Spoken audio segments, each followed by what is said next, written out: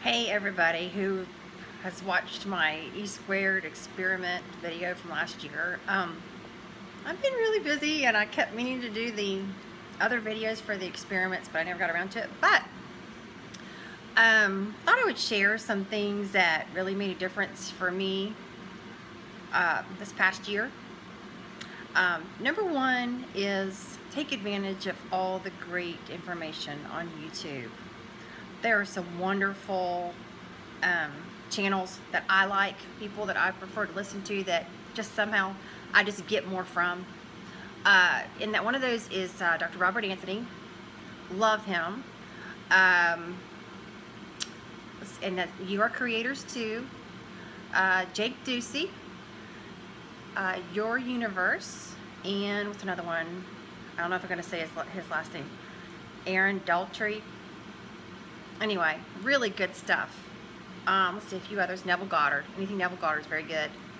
Um, I'm probably missing some. Anyway, I'm Pam Grout, obviously. She doesn't do a lot of YouTube things. Um, so anyway, really take advantage of those. You'll get and just listen to them in the car when you're going for a walk, whenever you're doing housework, whatever you're doing. If you're just um, going from here to there, take advantage of that time and play it on your phone uh, listen to it more than once. Okay, so that. Um, now I have read Pam Grout's E Cubed. And um, haven't done the experiments per se, but thoroughly enjoyed the book. But I did want to kind of put my two cents worth in um, about my experience in the book and totally recommend the book. Um, but a few things. Um, learning to let go, not holding on to anything, not fighting stuff. Something that's made a huge difference for me is allowing everything. Even if I don't like it, allow it. Don't fight it. The more you fight it, the worse you make it. Um, instead of thinking about how you're going to get from point A to point B, just envision the finished, the finished product, the finish line, or whatever. Recently, as an example, um, I became a flight attendant and just came out of the blue. Um, glad I did it. I love the job itself. Uh, it's an adjustment as far as my schedule goes, but I'm getting there. But I um, had my child care and everything squared away, I thought. And the person that was supposed to be helping me ended up, we didn't work out. And um, it was, it was actually, I'm making, I'm downplaying it. It was a nightmare. It was horrible. And I was thinking, how did I track this to myself?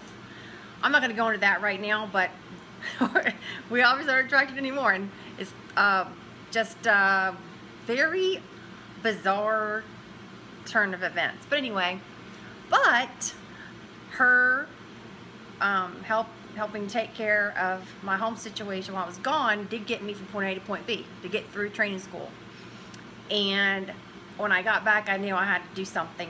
And I just thought, okay, I'm just going to think about it. It's all going to work out. It's all going to work out. Somehow it's all going to work out. I just thought about what it would feel like to have that ideal situation, the perfect person to keep my son when I'm gone, who can kind of roll with this crazy schedule and that I can be a benefit to that they they're going to get something out of this too that it's not a one-way street it's a two-way street. Wow. Well that person ever just fall in my lap?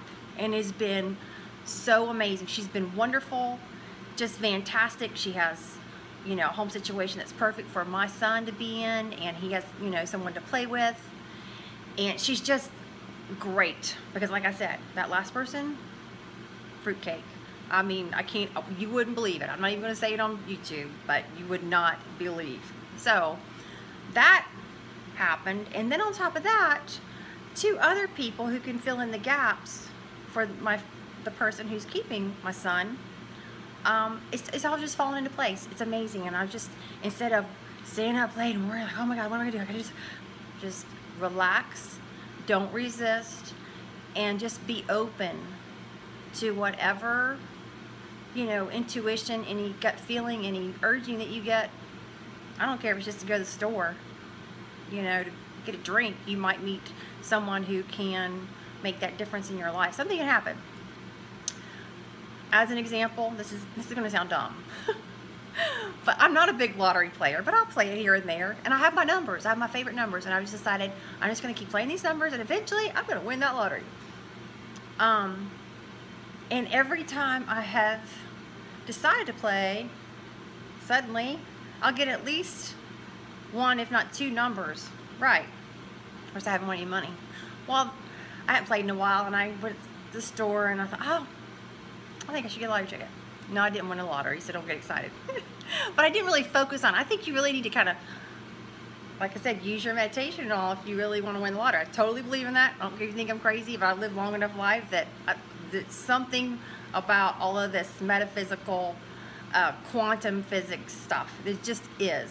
Sorry to burst your bubble, but it's just the truth. So anyway, did my numbers, got my my uh, tickets. Couple days later, I was like, oh, I need to check my numbers. I looked at them. I was one number off on four of them. One number off on all four of them.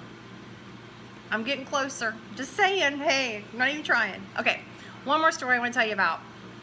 And that is that I couldn't talk about last summer, but I really wanted to. So, this is how you will get um, like you know you say oh I didn't get this kind of money like I got somebody wrote me a $10,000 check. They might as well have written me a $10,000 check.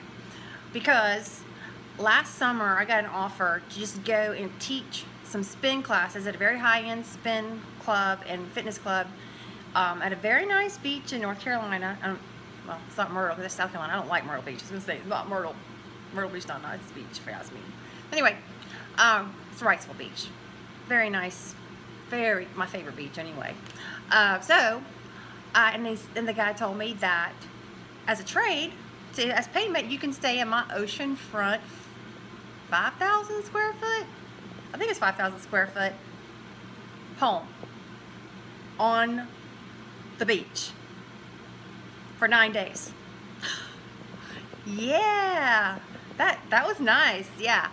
So um, no hesitation, I took him up on it and I, I may have taught, I don't know, 12 spin classes? Not even that, probably, not even that. And stayed in a house that was uh, on the market for $1.2 million, and it rents for $8,000 a week. So I basically got a $10,000 vacation for nothing. Doing something I love to do, which is working out and teaching classes. So, anyway. Um, and last thing I want to say is, now that I've done this flight attendant thing, um,